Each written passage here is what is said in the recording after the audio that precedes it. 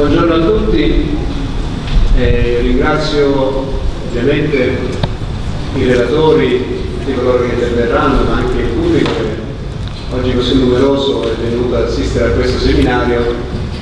che eh, abbiamo organizzato insieme alla Società per le garanzie e le comunicazioni con un obiettivo direi principale e un obiettivo ah, a, a. Quello principale è di presentare un bel volume trovate qui ma anche fuori, il codice delle comunicazioni elettroniche commentato da eh, una serie di autori, la maggior parte qui presenti, coordinato dal consigliere Contessa e dall'avvocato Del Vecchio e che no, a distanza di molti anni l'unica opera analitica di eh, commento al codice delle comunicazioni elettroniche. L'altro obiettivo è di stringere ulteriormente i legami tra l'Università Federico II e l'Autorità per le Garanzie delle Comunicazioni, legami consolidati sin dalla sua uh, istituzione, non dell'Università di dell'autorità, sarebbe una società un po' vecchiotta. il ehm, legame che ha comportato una serie di iniziative congiunte, di eh, convegni, seminari, ma anche di scambi di docenza, scambi di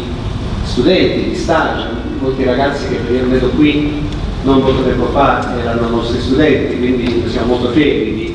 contribuire anche con uh, le nostre eh, piccole forze all'avanzamento, quantomeno dal punto di vista della uh, compagine nutrita dei giuristi dell'autorità. Uh, dell il tempo a disposizione è, non, non, è tantissimo, in realtà mentre i relatori sono tanti, le relazioni saranno oh, molto impegnative e aggiornatissime su una serie di questioni attualmente all'attenzione dell'autorità, questo è un momento particolarmente ricco di novità, eh,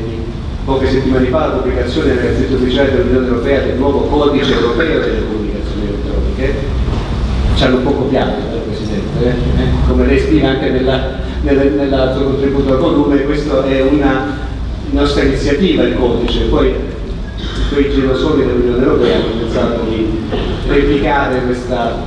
quest idea, quindi a parte gli scherzi, è una rifusione delle direttive che sono alla base dalla direttiva anni 80 della disciplina europea delle, delle comunicazioni elettroniche che eh, sotto forma di direttive richiederà nei prossimi mesi un lavoro non banale di adeguamento alla disciplina interna e quindi di revisione una volta di più del nostro codice di comunicazione. Uh, la prima parte di questo convegno è ovviamente dedicata ai uh, interventi eh, di saluto, interventi di presentazione e direi che è il caso di cominciare subito, siamo in attesa dell'arrivo del rettore Manfredi, ma ho già qui vicino a me, alla mia destra, il eh, direttore del Dipartimento, il professor Sandro Staiano, a cui cedo molto volentieri. Grazie.